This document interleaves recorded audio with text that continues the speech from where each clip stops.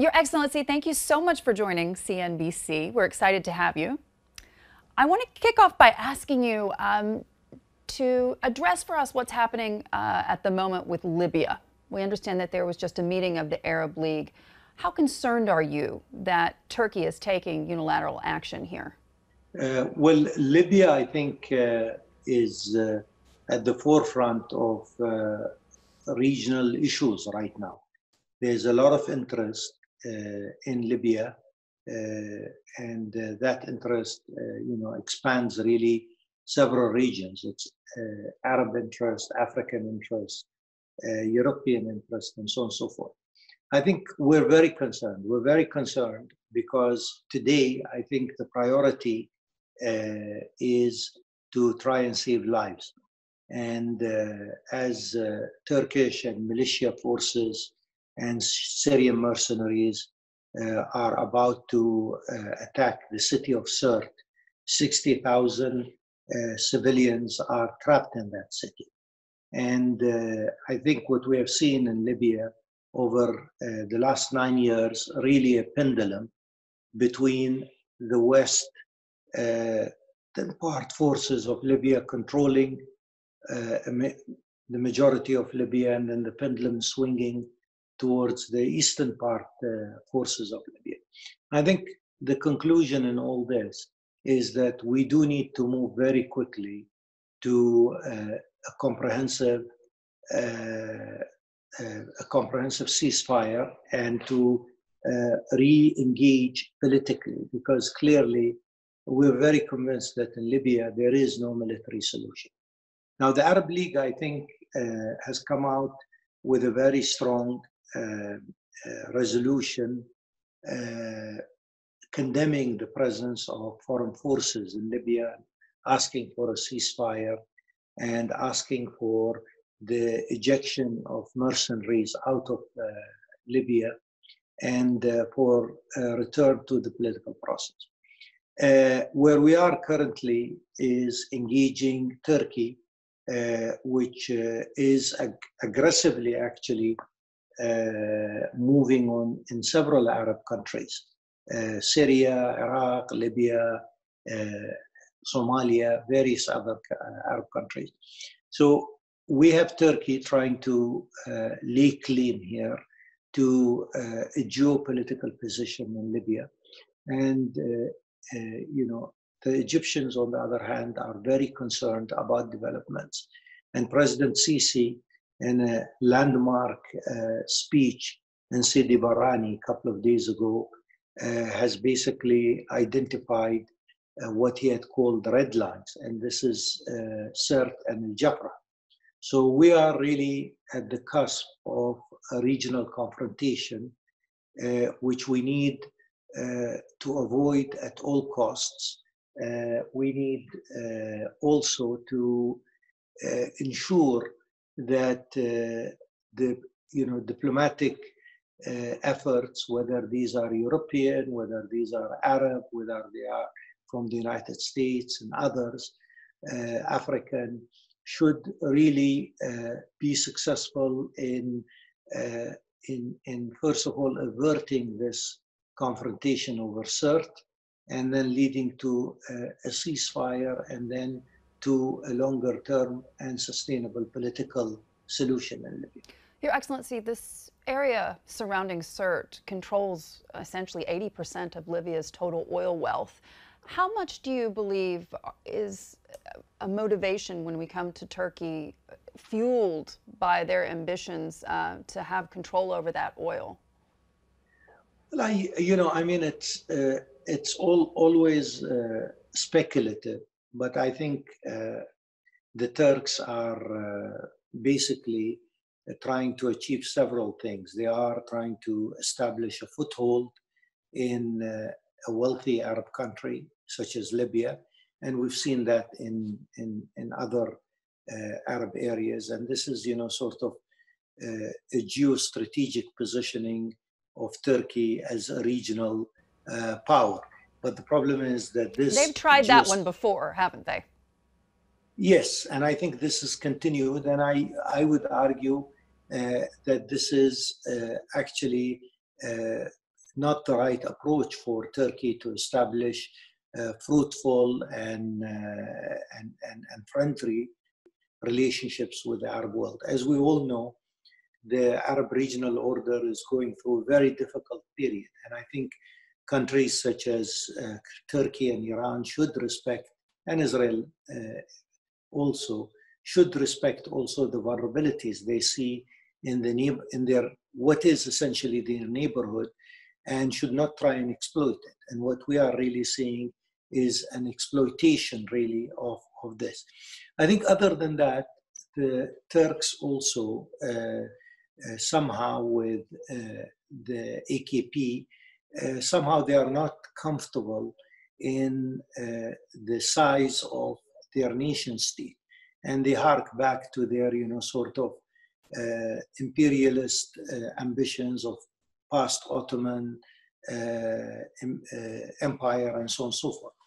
But realistically, uh, I would argue that uh, time will tell that this is not how you really build a solid and fruitful relationship for a country that is as important and as dynamic really for the region. And I think from that perspective, uh, I would say that this is uh, uh, an overextended policy that will actually hurt Turkey if it continues.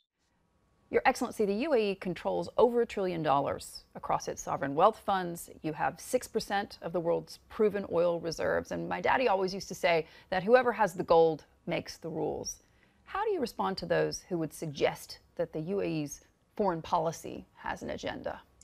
Well, uh, again, I mean, uh, agenda is uh, is correct, but not in a in a devious way. I think first of all, we should, you know, when you mentioned these numbers, I think we're very cognizant that we should not uh, suffer from any sort of hubris here. I think this is something essential. So the, UAE's foreign policy, I think, uh, clearly recognizes that this is a different international system.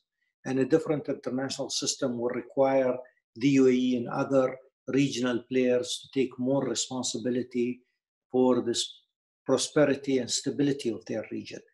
But the other also component of the UAE's foreign policy is to understand that this cannot be done alone.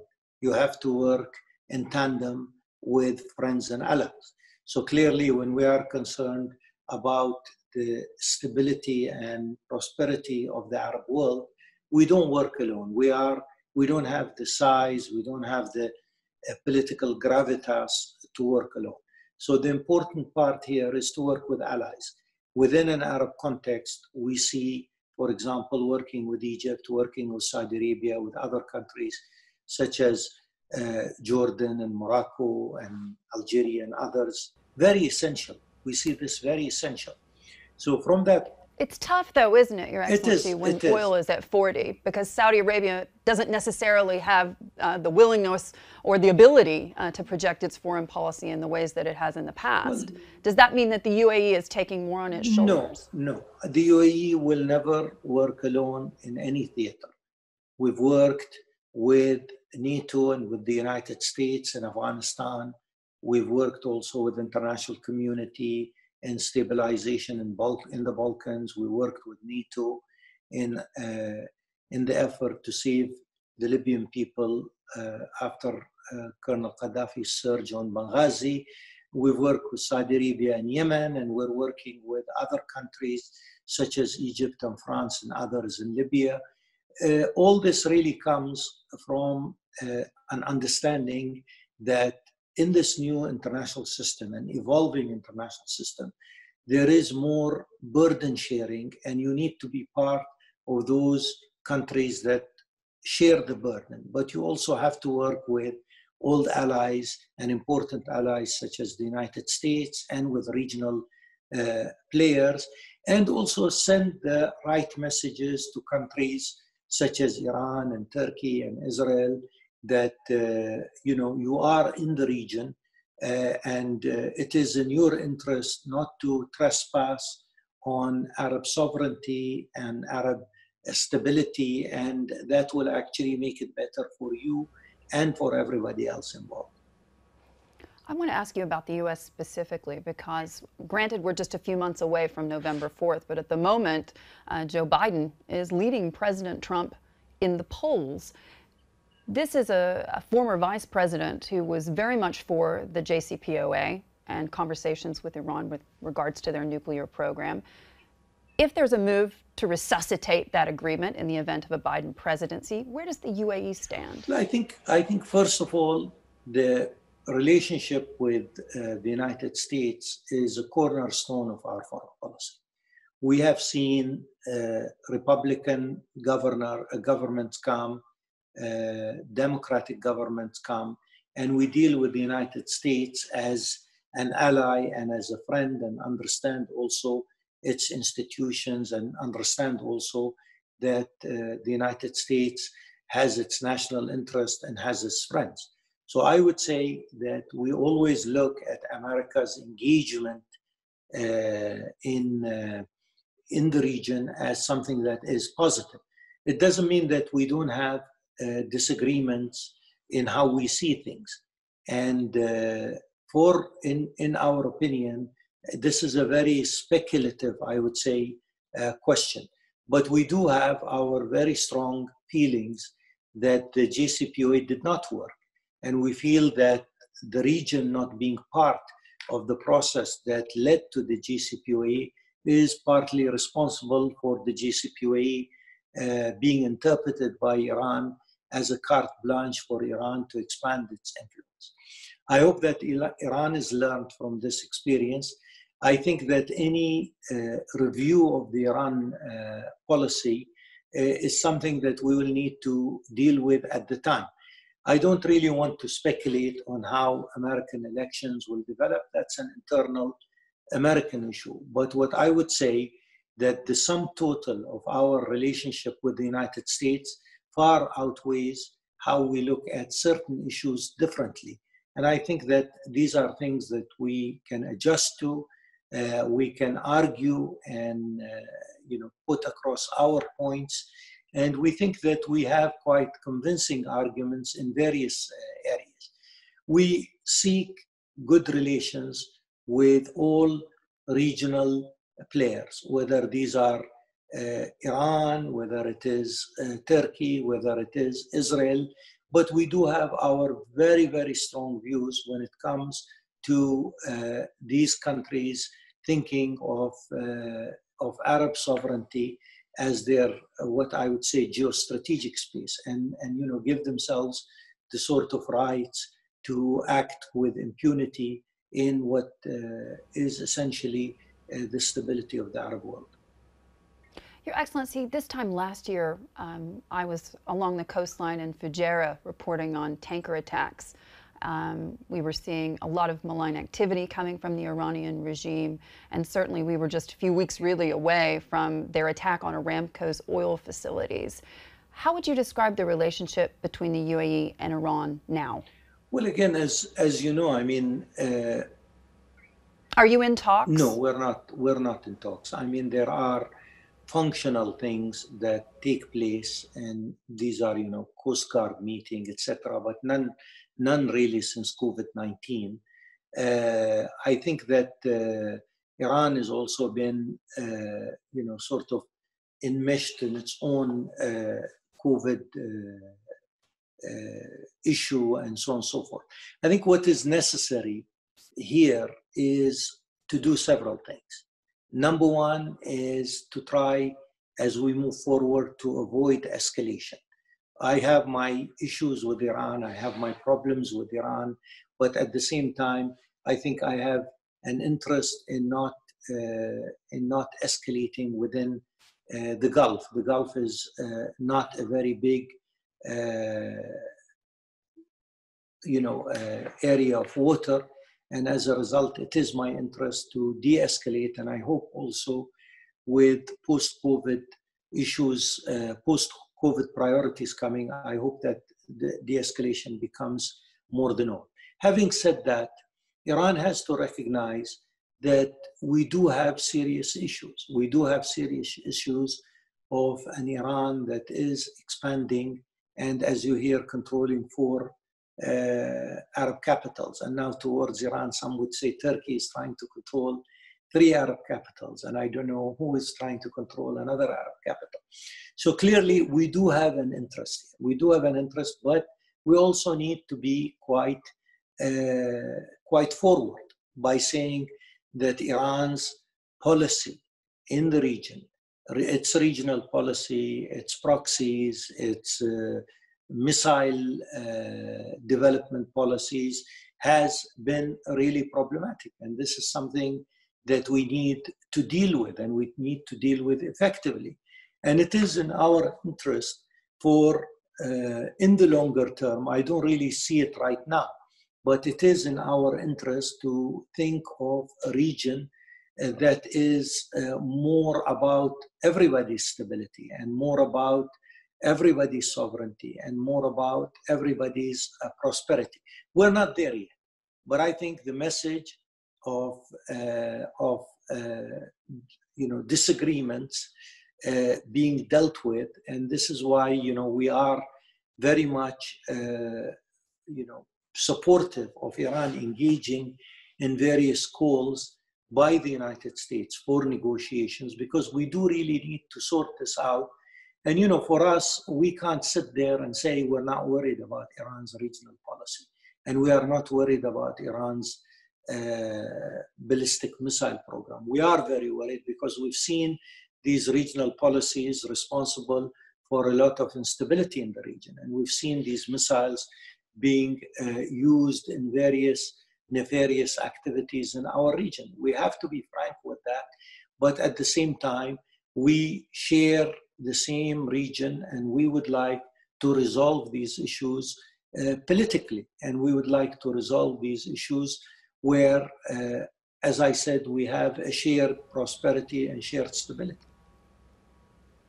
When you think about this with regards to the broader region, one country that is um, very much in the crosshairs economically is, of course, Lebanon. Uh, Iran has a great interest there via Hezbollah.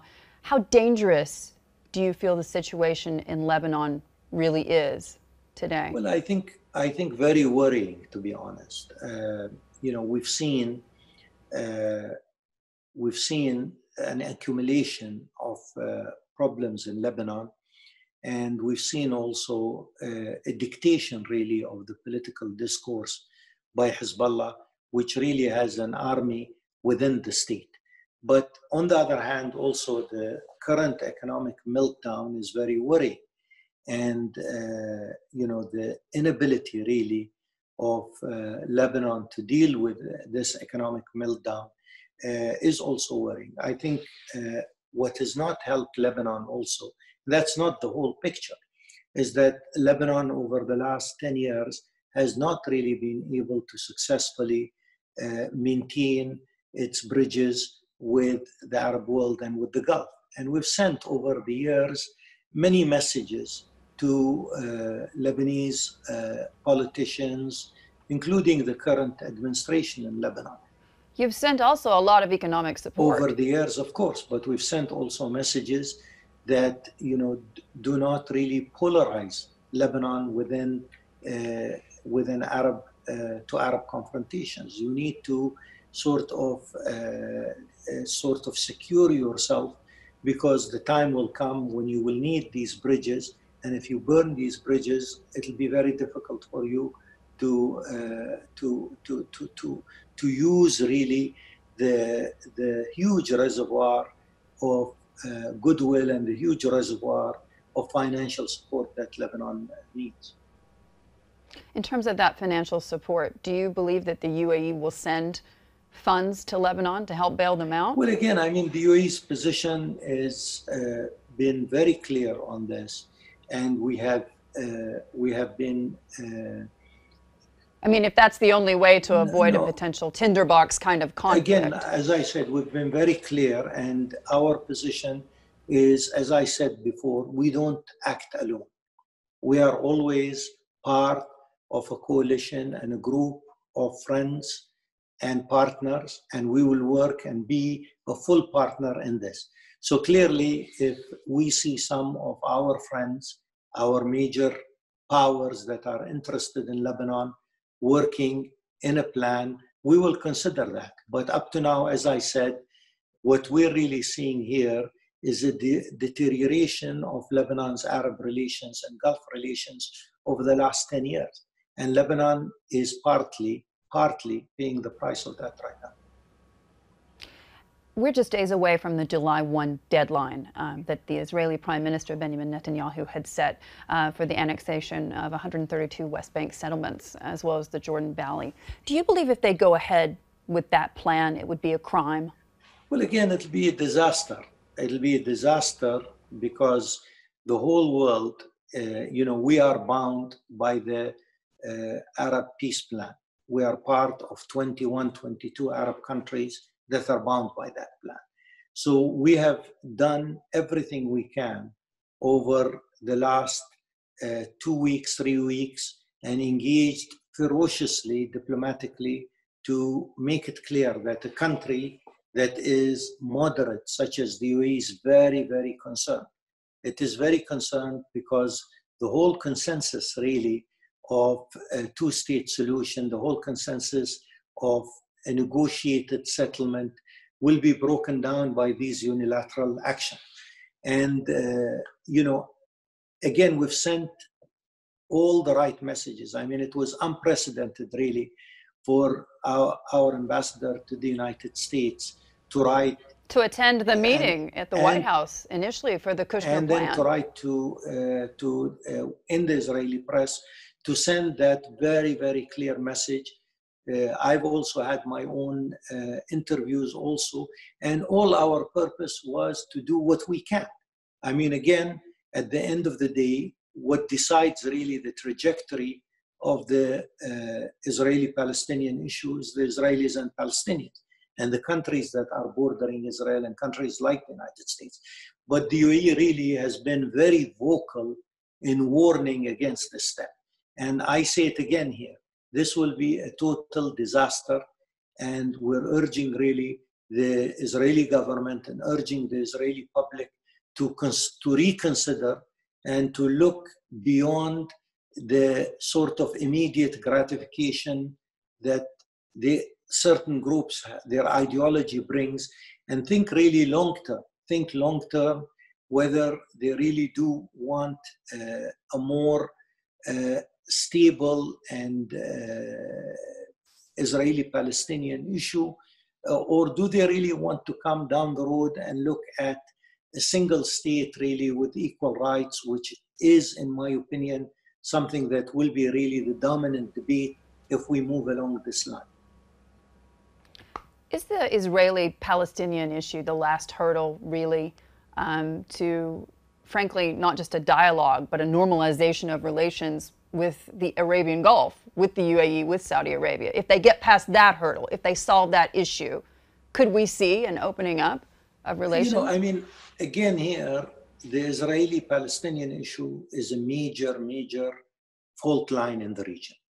But as we have seen also over the last decade or so, there are other major issues. So to try and discount the issue, I think, is wrong but to try also to put the issue as the only uh, issue of, of real interest in the region is also wrong. I think the UAE, uh, like many other countries, I mean, Israel today has uh, active relations with Egypt, and Jordan, and uh, Turkey, and Qatar, and many, many other countries. And I think the UAE recognizes that. And I think the UAE is also coming and moving forward and saying, and I've, I've said this before, that lines of communication are vital because we can do more with open line of communications than the total rejection that we have seen over the last uh, 30, 40 uh, years. Uh, and from that perspective, I think it is essential. And I think also when you really look UAE's message uh, against uh, the annexation of Palestinian lands and adding these annexed lands to the Israeli occupation, uh, you, you, you, it is important and essential to see that the Israelis are really taking notice in their press, in their public opinion, and in their uh, elite policy circles. And I think this is the sort of thing that you can bring here, and it is important that we can. And finally, sir, I want to ask you specifically about China. China today is um, the second, second biggest source of foreign direct investment um, in the UAE, and they are your biggest trading partner. Um, when I asked this question of uh, His Excellency Yousef Otaiba, the ambassador to Washington, he essentially said that there were raised eyebrows in the corridors of power there about the growing relationship between the UAE and China. Is it possible, do you think, that the UAE could act as a bridge of sorts, given the frankly hostile conversations we're seeing between Beijing and Washington today? Well, again, I mean, I would say that the UAE's concern uh, over this hostile uh, confrontation is a global concern. We're not alone here. Everybody, or almost everybody, uh, has a huge financial and investment and trade relations with China, investment and trade relations. We're not alone here, and we're not unique here. And at the same time, like many, many countries in the world, we all recognize that America has the largest, really, uh, network of allies in the world, and we consider ourselves an important ally for the United States. So clearly, we see this confrontation. It worries us. We would like to see a more, I would say, uh, cooperative relationship between Washington and, and, and Beijing. Uh, I have to say that our reading is it doesn't look so, uh, but we will have to balance and manage. And it is very difficult. I would say right now, perhaps uh, we are managing like many, many other countries, but more and more, I think we look at that and see that this will be a major, major issue. Every time we see confrontation between Washington and Beijing, the markets actually tremble and the markets are affected. And uh, clearly, uh, I would say that uh, competition between these two giants uh, will continue. And sometimes you would come and say also, to a certain extent, it's it'll be natural. But I think we have an interest that this competition uh, is more nuanced and that this competition is at the same time uh, does not really shake what is already a very weak international system. So I would, uh, you know, I would not exaggerate and say that this is a balancing act, act that the U, not only the UAE, but I would say the majority of countries in the world will have to deal with. And, and we're hoping that uh, there is a certain stability in this very important uh, relationship between Washington and Beijing. When you think about the challenges facing um, the world post COVID 19, even as we continue to see resurgences of this virus uh, around the world and governments grappling, frankly, to tackle them. What do you see as the single greatest challenge here? Is it uh, this standoff between Washington and Beijing? Is it the abilities of governments to tackle the economic fallout from what we're seeing playing out right now uh, across the world, or is it closer to home? Well, again, as you know, I mean, you've you've you you you know sort of categorized them. I think I think the return to normalcy, whatever that means, will be a challenge, and the return to normalcy is not only economic. It's about kids going back to school. It's about uh, people taking the fear of uh, pandemics and for us as an international system to be better uh, equipped to deal with any sort of public health uh, issues such as the one that we have faced. But I think in the region here, uh, also, uh, it, it is important that conflictual politics as usual doesn't return. I mean, again, I don't really see COVID-19 as you know a magical wand that will change the region and will change relationships between the, the region. But what I'm really hoping for is that it will actually bring ascendancy to uh, issue to to issues such as de-escalation, ascendancy to resolving conflict uh, politically rather than through military means increasing, for example, regional cooperation. If we can achieve some of these uh, what I would say uh, stretch targets, targets that uh, will actually improve conditions, I'll be very happy with. That.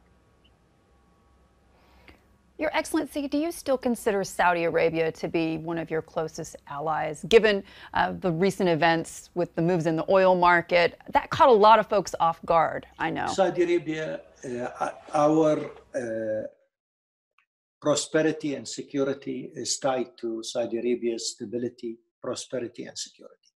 And I don't see any way that the UAE prosperity and security can be uh, cut off from Saudi Arabia's, uh, you know, stability, security, etc. Uh, I always repeat a story of uh, a, a, very important Saudi delegation coming here uh, to see Sheikh Mohammed bin Zayed, and I was attending, and it was the late Prince Saud Al Faisal who headed that with a strategic message uh, from uh, King Abdullah, God bless his soul and uh, Prince Saud started with uh, complimentary comments about the UAE, its development, etc. And what uh, Sheikh Mohammed said in that uh, important meeting, uh, in the beginning of the meeting, still rings true. And he said, Prince Saud, thank you very much, but we wouldn't have been able to achieve what we have been able to achieve if Saudi Arabia was unstable. So clearly, for us, Saudi Arabia is one of our most important relationships, one of our most important allies, and essentially, for Saudi Arabia to be, whether it's good times, whether it's bad times, our stability and our prosperity is tied hand in gloves with Saudi Arabia. So the economics of it doesn't concern you? The economics of it are important. We can discuss it but you know the sort of history and geostrategic and geography and uh, and, and and and and political system and so on and so forth i just don't see how uh, the region the gulf region can be stable and prosperous if saudi arabia is not. Your excellency we have to wrap it up. Thank you so much for joining cnbc